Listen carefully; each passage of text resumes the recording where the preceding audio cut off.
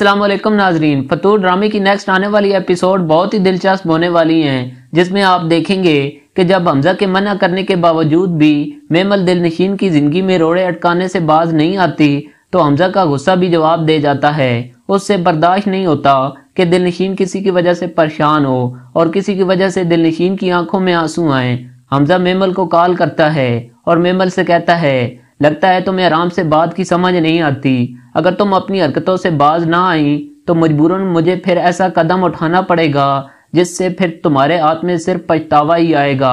Mammal Hamza को समझाने की कोशिश करती है। मैंने अब दिल नशीन की ज़िंदगी में कोई रोड़े नहीं अटकाए, बल्कि हैदर और दिल नशीन की आपस में नहीं बनती। हैदर ने तुम्हें और दिल नशीन को एक साथ देख लिया था। इस वजह से हैदर और दिल नशीन में काफ़ी झगड़ा हुआ है। हमजा जब मेमल की ये बात सुनता है तो काफ़ी परेशान हो जाता है कि मेरी वजह से ना जाने दिल नशीन को क्या कुछ बर्दाश्त करना पड़ रहा होगा।